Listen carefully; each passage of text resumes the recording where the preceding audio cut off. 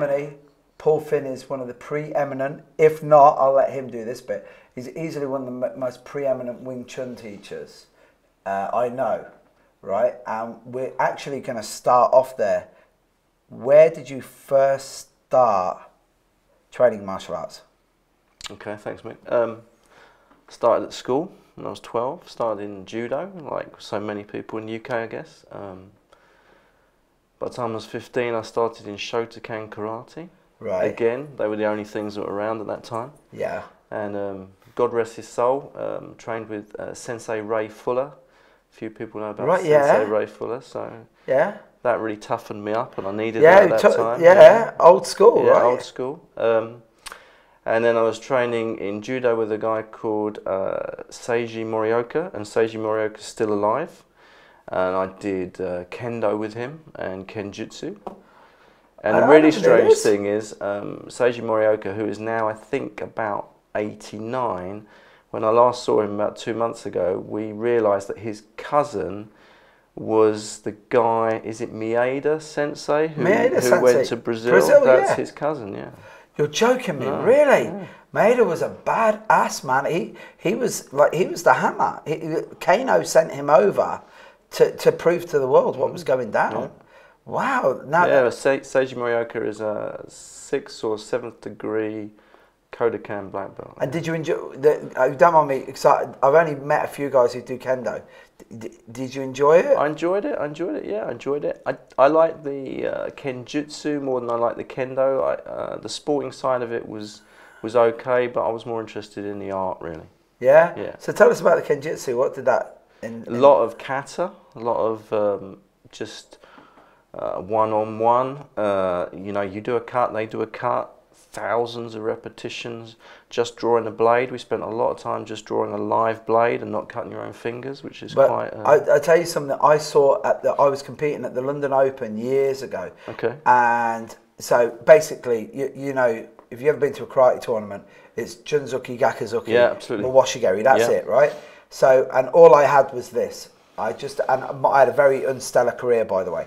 Uh, very, very unstellar career. Uh, but I, I used to love watching the kata. Nowadays, you watch it and it's like the Power Rangers. Mm-hmm. And I've got friends of mine who teach that, and it's an, I think it's awesome. Mm-hmm. I don't know if it's a martial art, but I, yeah, me personally, but I think it's very good. And you know, if you've got kids, kids who are overweight and Yeah, stuff, absolutely. I think it's awesome, right? Yeah. But there was this one guy who did this kata, and basically he got up, he drew a sword once in the air, and then put it back in. And in my naivety and ignorance, I was like this, going, "What was that?" And then I didn't realise there's this whole Zen thing Mm. Yeah, that sure. goes with it, Yeah, right? absolutely. And d- did you enjoy? Yeah, I did. I found I found it very yeah zen-like. Absolutely. Hey, now we're talking. So, how did you get into the Inosanto blend of martial arts? wow. Because I don't know this. Okay. So, I think we were talking earlier with Will here for Woma TV. That's how we do these links, guys. Okay, and Will was talking about the Way of the Warrior series, which was on BBC. Yeah. I think it's 1984. Uh, they showed Simon Lau doing Right. Wing Chun in North London. And at the time I was doing karate, and I suddenly looked at the Wing Chun and thought, I need to be doing that now. Right. And so I went and sought out. I couldn't get to Simon Lau; it was too far away. I was still at school, so I started training with whoever I could find in Wing Chun, and then gradually through the Wing Chun, I ended. Long story, but I ended up with a guy called Steve Mayer. Yeah. And Steve Mayer was doing Wing Chun, but like Sifu Francis Fong, who's interviewed on Woma TV. So see that interview with Mick. Um, Steve was cross training yeah. and he started training with the JKD guys in the UK, uh, Yeah. Terry Barnett, Yes. Bob Breen, and Steve went out and stayed some time with our, our instructor, our mutual instructor Rick Faye in Minnesota, Yes. and he stayed out there a couple of months, I think. And then when he came back, he uh, he dropped the bombshell on the Wing Chun group. He basically said, "I'm going to live in Denmark, guys, and I'm going next week." And we were like, "Okay, what do we do?" That's that's not like a martial artist just to just. Yeah, he just went. Yeah, went. I'm being I'm being ironic here, right? And so I went and found um, Sensei or Sifu or whatever we want to call him, but Ralph Jones.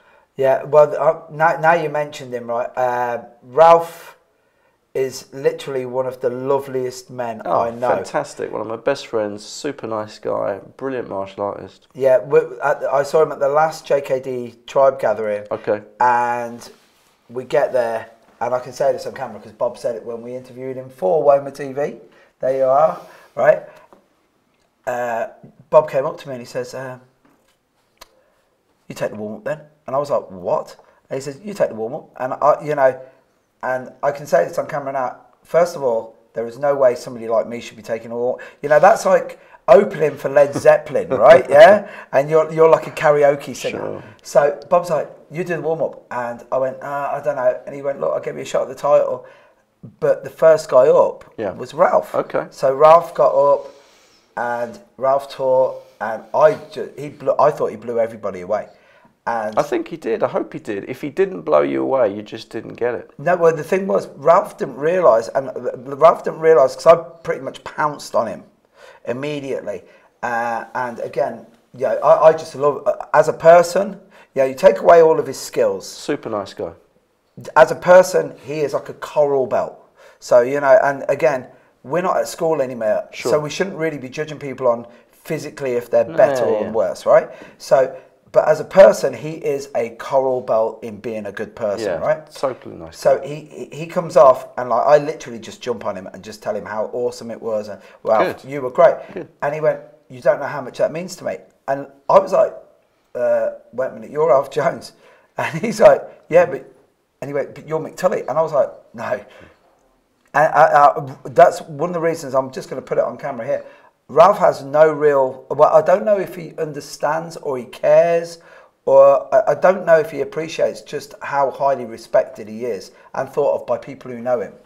And my only criticism is that not enough people know him. yeah, I agree with you 100%. Yeah. Uh, because again, it's another thing with yourself. You don't like actively going out. No, I pushing would, I would absolutely make PR and self promotion is not my thing. Yeah, but what what it is is this is going to link me back into something now, right? Mm. Which is you started in the Wing Chun. Yep. That fortuitously brings you into the world In the centre. Inosanto Yep. and Rick Faye and the Yep. Minnesota Kali yeah, Group Yeah. And Marc McFann. Oh yeah. Exactly. Uncle Mark. Yeah.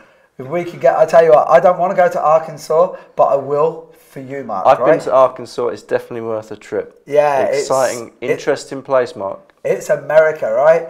It's America. But anyway, sorry, Mark. Uh, but if you're representing all of these guys, Yeah. and we, what we'll do is we'll go back in, in a minute Okay. and get you to tell us how it all happened. But when you're representing something so huge Sure. and something so good, it's like selling Rolls Royces and then saying, "Do you know what? I shouldn't really have a car dealership on the fr- on the on the on the high street." Yeah, I know what you're saying. When I put it in that perspective, do you know No, what I'm trying to say? Yeah, totally. Yeah. And what is that? Just a personal thing, or I suppose the thing is, at the moment, a bit like yourself, um, I've got a, a career, uh, a sort of day job, as it were.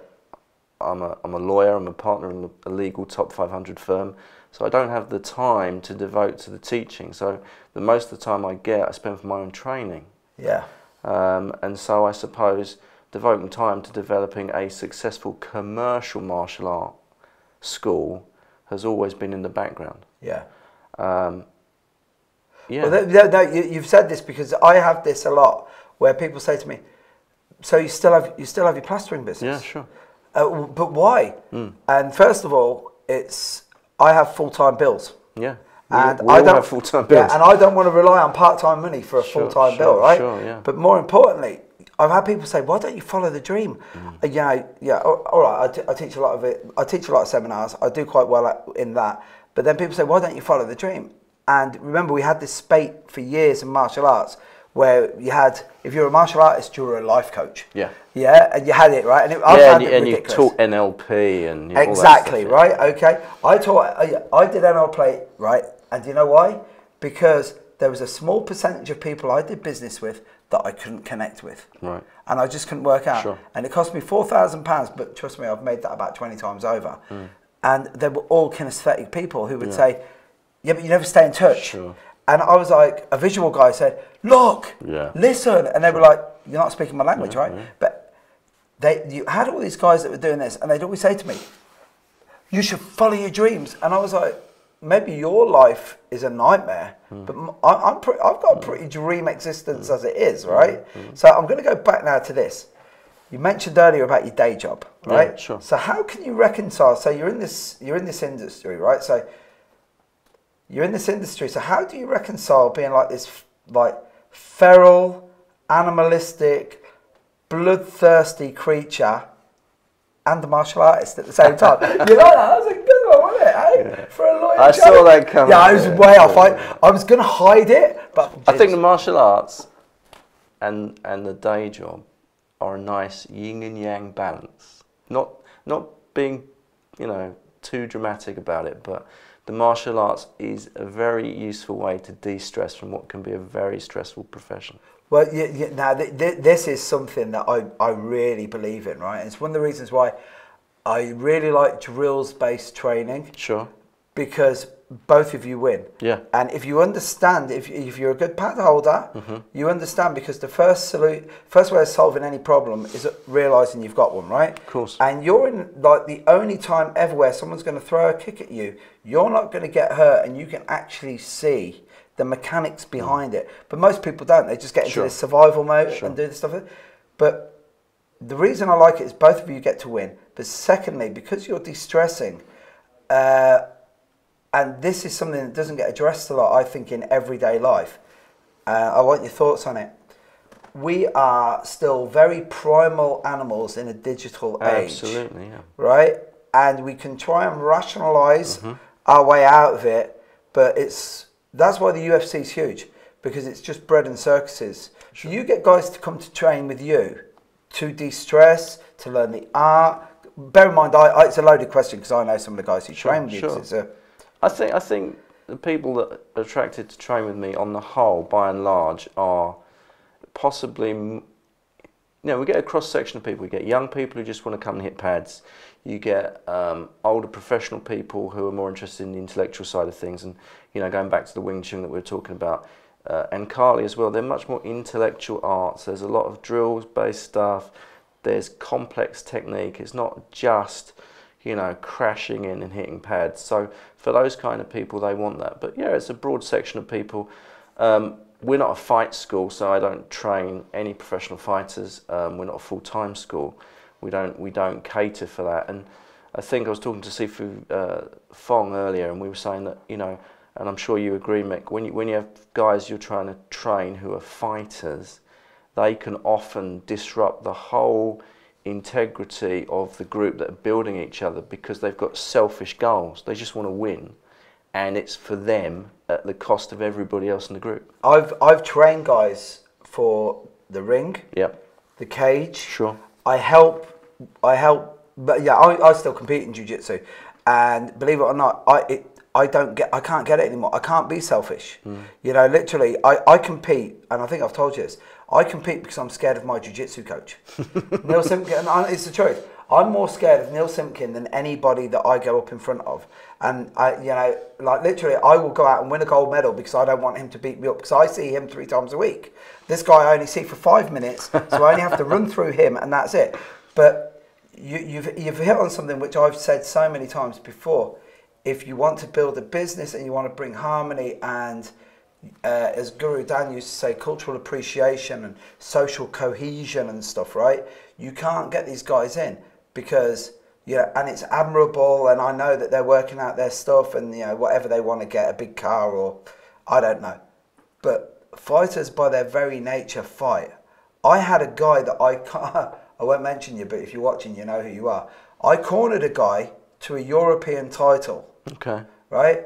And I had to almost fight him in the car park at the end of the show for my cut Wow. because he was doing me a favor because it made it, me look good teaching him.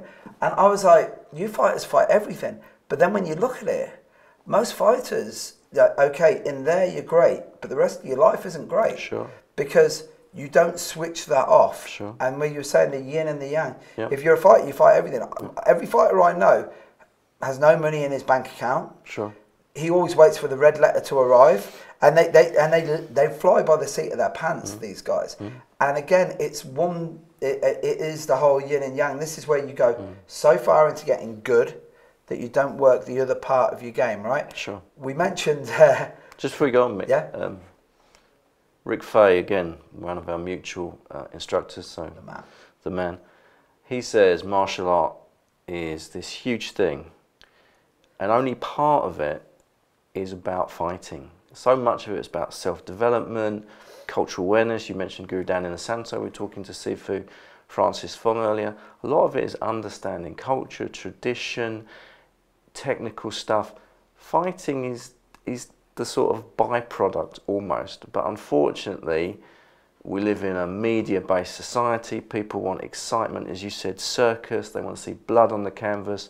People are paying to watch fights.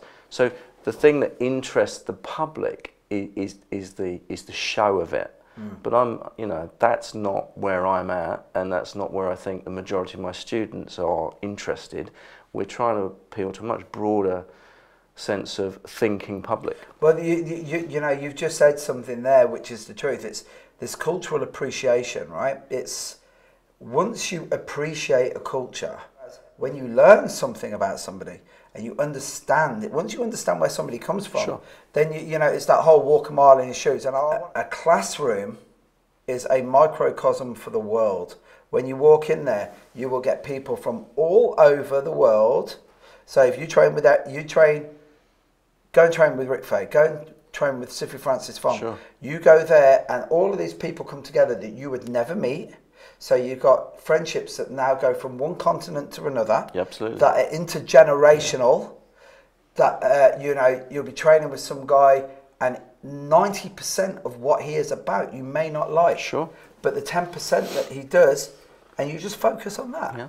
You know, and it it really brings it all together. And like when we're talking about cultural appreciation, uh, I have to talk about the one guy who really taught me cultural appreciation about guns, and that's Marc McFann. Absolutely. Where did you meet this character first? Wow. Um, I think, to be honest with you, it's a long story, but I got put in touch with Marc McFann by um, the late great Pat Davis. Awesome, yeah, Yeah. great guy, yeah, Amazing guy. wonderful. I didn't know Pat very well, but he contacted me out of the blue and said Mark was in the country. Would I like to train with him? Would we like to host him? And to be honest with you, at first I was slightly nervous about that Well, when was because this? I'd never trained with him before. What year was this? So where are we now? 2016. I would say we're talking about 2000. Right, because one of the first times that we came down to support you, myself and Al Peterson, Yeah. Do you know when that was? 2004 probably. I think that was the third time we had Mark. So I think 2001 we yeah, started. that was Mark. when Marc McFann turned around to me, and I turned up and I had some knee pads on me. I remember this. I had some Renzo Gracie You had some shorts Renzo Gracie shorts. and I had a CSW Yeah, T-shirt I on remember me. it. Do you remember what he said to me? He says, "Wearing that get-up, I hope you're good." And I said, "Trust me, I'm not." and it, that was that was exactly what I said, right? Uh, but Mark's Mark is one. He truly is a yin and yang character because Absolutely. that where, you know, where does the Mande Muda? You know, when people, what I always say when people say, "Silat, oh, it's very flowery," and I'm like, "Have you ever met Marc McFann?" Sure. I'd like you to meet him and say that it's a florist because yeah, he's a legit. Absolutely. kicker. If you've not trained with Mark and you've not trained with Mark in Silat, if you get the opportunity, do it because it's incredible. It's so functional. It's amazing. But Mark, Mark spent a lot of time with one-on-one with the late great Herman Suwanda. He did. He did indeed. Yes. Um, so Mark's Mark's unbelievable because he was. Correct me if I'm wrong, but he was one of the first of the big guns from the Inosanto family to just. He was training with Mark Lehman in BJJ, Yeah. and he's, he just went down the MMA route. And on paper, I would, he wouldn't have been the guy because it was like you know the the Silat, I you know, but the you know it, it's it's funny because when you first meet him, and I was like, yeah, he's awesome, he's awesome, and then I started hearing these stories of the UFA test and You know, the Richardson boys were telling me it was like 38 rounds of sparring. Yeah, and the Thai test is bad, right? Yeah, Arjan Chai's test is bad, but that's two rounds. You know, and all right, that yeah. Trust me, I don't want to be in 38 car crashes, but I don't want to be in two car crashes either. I don't want to be. But Mark's one of those guys that he's like, if you're in, this is how you train. But then I've trained with him when he's done the Silat, and it's just, it's a beauty to behold, right? Phenomenal, phenomenal guy, amazing martial artist. Um, if you're watching this, Mark, you're out there, but you, you, you've got the, he's got the stuff. He's you better stuff. believe it. I tell you, and I, I've got this theory that Mark's one of those guys that you know you see in the movies where you know like Laurence Fishburne, where it's turned around and we go, we need to turn this guy into a killer. You know, in the Matrix, so they put him in, they load jujitsu in into his brain, and I think that's what you do because If you've ever seen the movie The Sniper, is it The Sniper, The Shooter? the With shooter, Mark, Mark Wahlberg. Mark Wahlberg, yeah. you know, But that's I- Mark McFadden. I always thought that Marc McFann was more uh, Tommy Lee Jones in The Hunted. Yeah, you're probably right that's, there as that's well. What, that's what I've always he goes across many genres, He certainly does. He certainly does. and I'm sure he wouldn't mind me saying that. And what what was yeah, was it the Mande Muda that he came to you first for? Yeah, I mean, you probably know this, uh, Mick, but I, tr- I was lucky enough to train again out of chance um, with Ibu Rita Suwanda. Yeah. So Ibu Rita Suwanda is the head of the Mande Muda system. Um, when her late brother died, Herman Suwanda, she took over head of the system, which is unusual because she's a woman. yeah. Um, and we were lucky enough to get Ibu to come to the UK, and I think she came to the UK about 10 years in a row. She'd come and stay with me and my family at our family home. She'd stay normally for 10 days. We'd train every day in Mande Muda, and we'd have one or two seminars each time she came. And then there were some problems with Ibu getting into the UK, and, and I was speaking to Mark, and Mark had experience in Mande Muda, and so I wanted to, to progress in, in my Silat, and Mark was the logical choice. And once you've seen Mark Silat, as Mick was saying, you know that is the, the right choice. Yeah. Well, I famously, uh, if you've ever done a seminar with me and we've ever done any, like, I, trust me, I've, I know that much, right? Uh, some of the Rikasan. Yeah, Yeah. So Yeah, what sure. happens? So what happens? I'm impressed, Mick. Hey, so we go in there and literally Mark says, "What do you want to do?"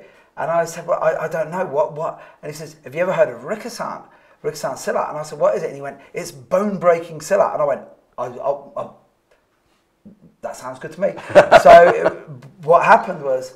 I went and trained with him uh, with another of our mutual friends, another killer, uh, Ewan Campbell. Oh my goodness.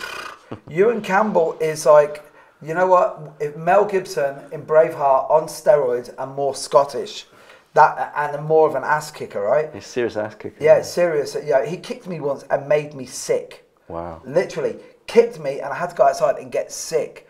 And I was like, how has my leg told my stomach to get sick?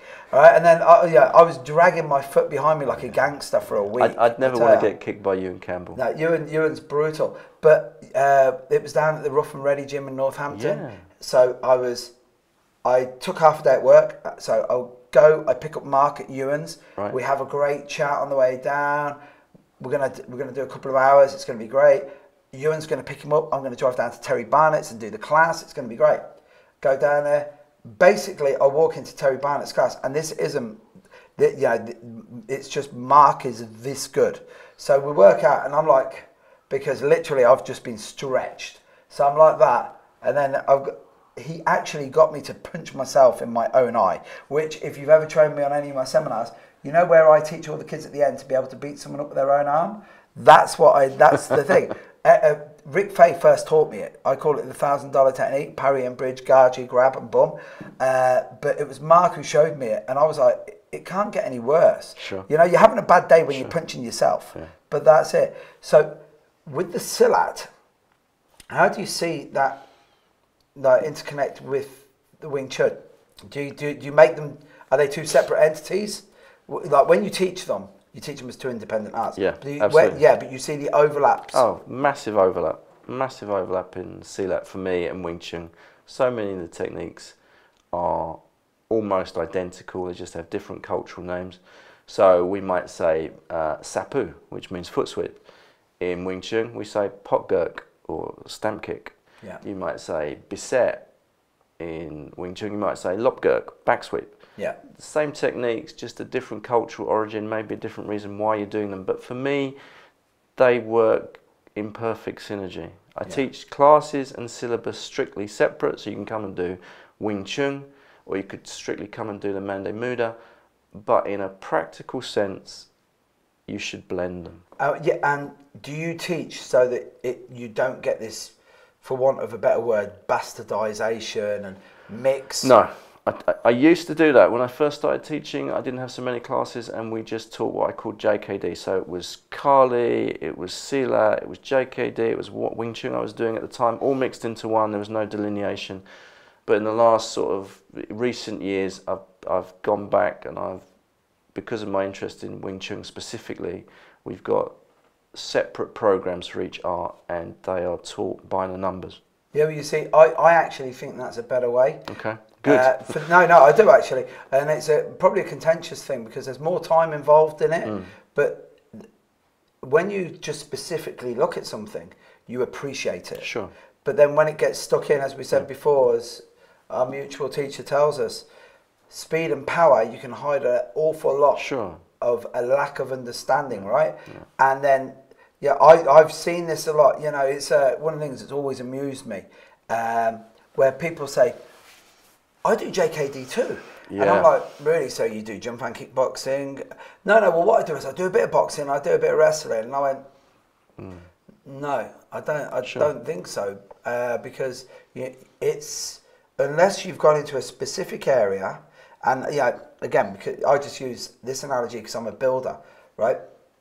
Get good at being a bricklayer because there will be transferable arts to become a carpenter. Sure. But don't ever put a sign on your van saying that you're a carpenter. Yeah, sure. Yeah, until you turn around, and then JKD is a general builder. Sure. Nine times out of ten, you know, you get overcharged. Yeah. Oh wait a minute, it sounds like martial arts, right? Doesn't. Ah, that's it. Are you- what, I, I thought you said you'd done my kitchen. You give me a bathroom instead. Oh, you look like you needed a bathroom more. You, you know what I'm saying, right? So this is the, not a shameless plug, Tom. So I'm not going to put you on. Okay. I'm not going to put you on the spot here.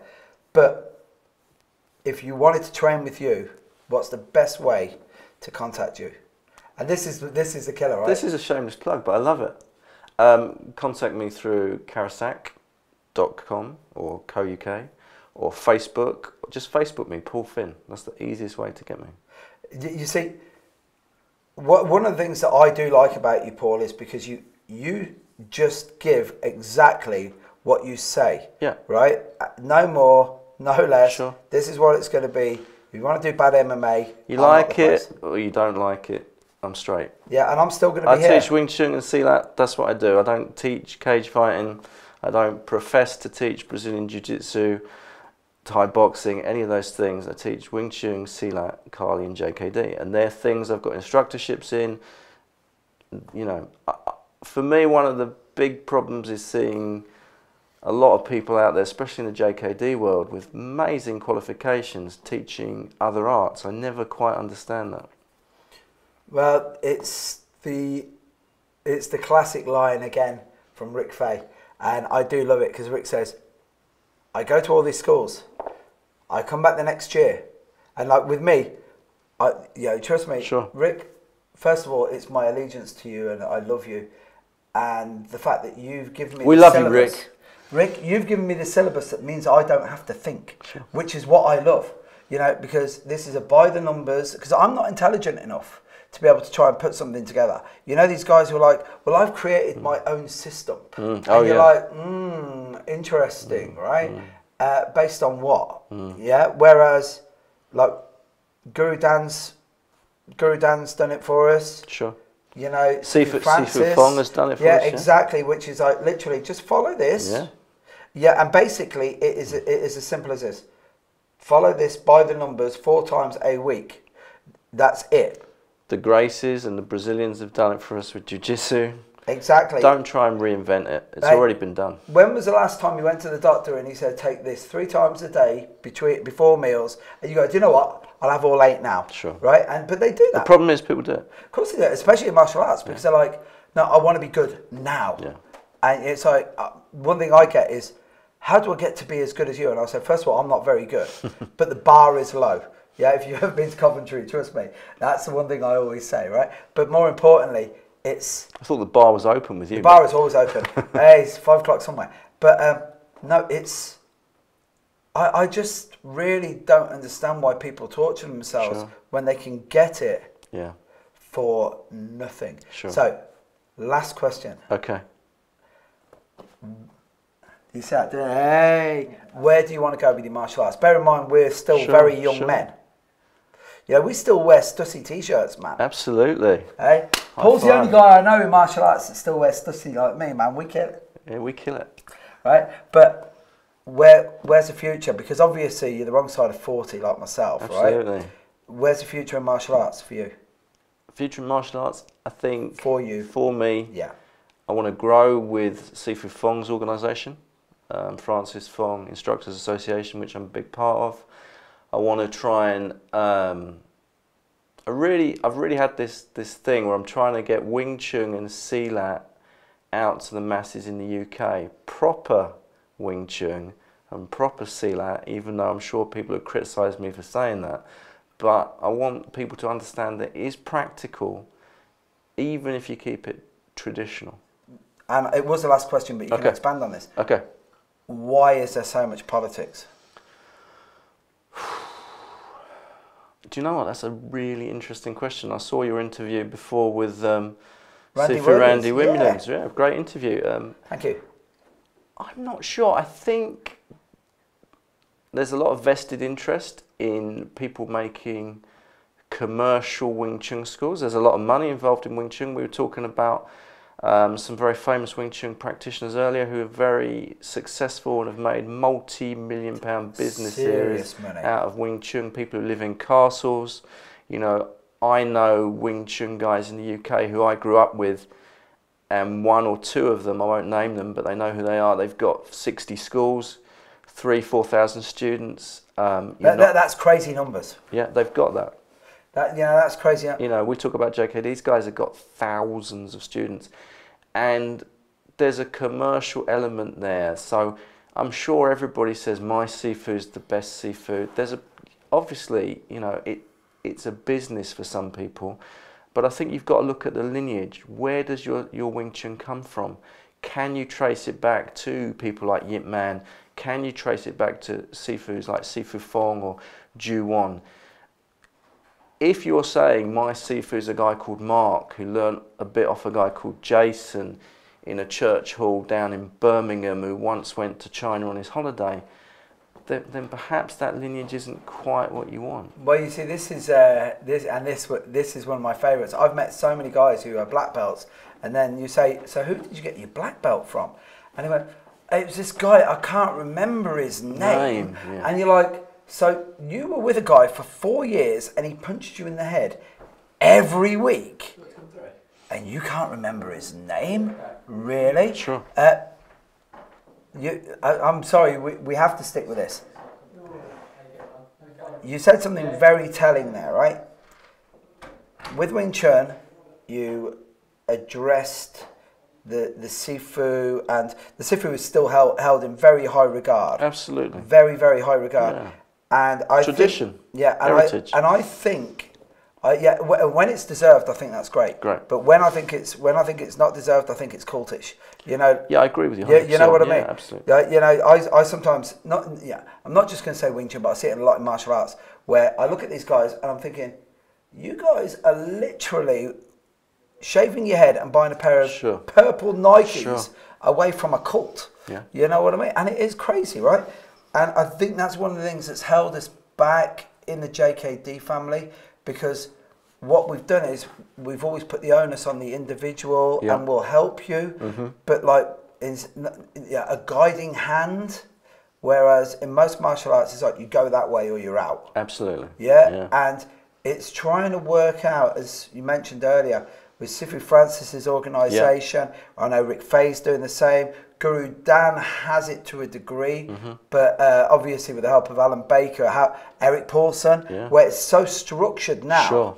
You know, it, I think that was one of the things where before we've never ever been in a time in the world where information is so accessible. Absolutely. Yeah, you want the next. When we first started the martial arts, You wanted the first technique, you had to go training the next week, or you had to go to a course somewhere. Yeah. You had to do this. But JKD, yeah, most of us found out about JKD by reading Rick Young's travel logs in combat. Absolutely, That's yeah, how it yeah, worked, right? And now what do we do? We just go on YouTube, sure. find out, but that's how it works. So I, I really think with the, with the JKD, I think we, we've still got another 10 years to try and get that structure Mm. together. But, you know, those numbers you were talking about, uh, do you know what? I'm thinking about starting. Uh, if you want to train with Mick Tully in original Wing Chun in Coventry, uh, you know, I met this guy once. No, I can't really do that, can I? But no, that's crazy numbers. Sure. But those guys, those those guys have had those numbers for 20 years. They just keep it very low key. I, I know a guy who had his Wing Chun gradings at Crystal Palace more than 15 years ago. I can't get the numbers correct, but we're talking about three, 400 people took the grading. Wow. yeah, I mean, yeah, and that, that was, well, yeah, obviously a fiver a head or something, right? That, yeah. Yeah, no, yeah, but you know what I'm saying, right? No, you have to pay for a weekend course. You have to, you know. That's it, that's it. I, I think the problem, you know, JKD is a very different flavour. You were talking about the relaxedness of it. I think in some ways, a lot of the JKD guys now, we've almost got to kind, not reinvent it, but just bring it back under control because it's almost a bit. I even in my group, there's a distinct difference between the people who take my Wing Chun program and the people who do my JKD program. And my JKD guys are like, oh, the Wing Chun's too regimented, and the Wing Chun guys are. The JKD's a bit too Freewheeling. freewheeling. Yeah, yeah. absolutely. Yeah, you see, this is my my take is. Uh, I actually went back to my old karate instructor, right, Andy Margaret, great guy, right. Uh, went back, taught uh, a portion on a charity seminar. So I just went in, I just, I just blasted through. You know what I mean? I was just doing the. I, yeah, I'm good at about four things, and that's all I ever do. Trust me. I, I honestly, I yeah, I'm like Anton Du Beke, you know, from Strictly Come Yeah, Dancing. yeah, sure. He's only good at waltzes. Okay. Like that's me. Right. I'm only good at that and nothing else, right? But it was the the lining up and the standing there, no talking, the whole lot. And I love Andy. Andy was the guy who put me on the he put me on the road, right? And I go in there and I'm joking around and you know, I walk past and you know, mm. pinch one of the guys on the bum as I'm walking past who trains with me just for fun. And Andy was like, You've got worse. Mm. Because I, I never wanted to be part of that. Sure. And I you know, I have a we, we bow in, we bow mm. out, mm-hmm. you bow every time you change partners Sure. but I don't enforce that. Sure. Yeah, that's something you should choose to do. Yeah. And if they don't want to do it, then they don't last very long. Mm-hmm. You Well, it's know? like the Wing Chun, you know. A lot of guys say, oh, they come in, they go, I just want to do the trapping. So they want to trap and hit pads. Or Sifu Fong's told me many times people come to him and they say, I just want to learn the wooden dummy. What people need to understand is Wing Chun is a complete art. And I think this is what's been lost a lot by a number of people. Um, they specialize. So you'll get guys specializing in Chi Sao or guys specializing in sparring. But if you look at Wing Chun, it's a system. I don't recreate the system. I've been taught by Sifu Francis Fong, Sifu Joseph Lee, people who've got a lineage directly to Yip Man, to people like uh, Li Xing and Ju Wan. I don't create the system. The system is there. If you stick with the system, it's a system.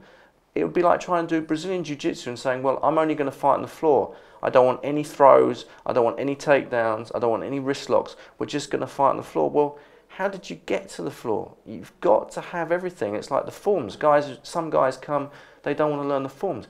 If you don't learn the forms, you don't start to appreciate the motion. You don't take it seriously. You can't get the sensitivity. It's a package. You can't pick and choose. Yeah, but you see, you, know, you've just hit the nail on the head. It's like people. What, what is it? Is it just preference? Is it the fact that they might be crap at that portion, which I? I think you're right. I Which I, it's always preference, see. yeah. I, and then I, I, I always think to myself, but you know, first of all, it's like Guro Dan Inosanto always says, don't take this ability you've got as yours. You're a custodian of this. And I, I love the way he says it because he always says, you're a custodian of the art and the ability, you're a, you're a custodian because the way you move at 50 isn't the way you moved at 20. Absolutely. And it isn't the way, and it doesn't have to diminish that Sure. much. because he's proven this, right? But the art again is if you want, you know, so many people want to reinvent the wheel. Absolutely. So many people want to change the world. Yep. And these are the same people who can't change their underpants. Sure. And you're like, wait a minute, why are you doing this? You know, unless you're, a, as I've said before, and I'll say it again, uh, and it, again, it makes me se- seem like a fanboy, but I think Guro Dan Inosanto is the only real genius I've ever met. I've met a load of people connected to him that, you know, there's, I believe in osmosis somewhere along the line. You know what I mean? Because even the guys that really you didn't think were going to get it, got some of it. You know Sure. what I mean, right? But it's like, why are you trying to second get? It's like Albert Einstein being your physics teacher, Sure. and then saying, "Have you ever thought about looking at it this way, yeah, Albert?" yeah. Yeah. And by the way, you know, is there any chance you could brush your hair at the same Sure. time? You know, it's like, get out of here. You guys are clowns, man. Uh, but uh, yeah, we live in interesting times, as they We say in do, China, yeah, man. you know? absolutely. So I've been waiting to get that one in. Right, Paul. Again, It's been a pleasure, If you mate. get the chance, Thank you. no, thank you, thank you very much. If you get the chance, please, yeah, you got to look him up because, again, Paul Ralph Jones, I think are criminally criminally under, uh, overlooked in this country, uh, and again, it's uh, one of the reasons is because that's what you offer, and it's like if it's if there's hundred people there or there's ten people there, Sure. that's all I'm gonna. That's what I'm teaching, right? I said to Sifu Fong earlier today, if there's 10 people there, one person there, I'll still teach. That- yeah, but, yeah, but that's it. Yeah, that's the thing, you know. That's what we do, we teach, right? Uh, exactly that. The other one I always say is when I use this personally for myself is I, I can only sing my way. You know, the, the, the Sinatra song, I don't really sing it that well. But what I'm saying is, I, I- don't try and get me to sing something else.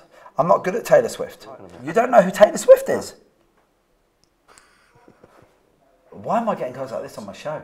Yeah, you do, don't you? Of course I do. But it's good to wind you up.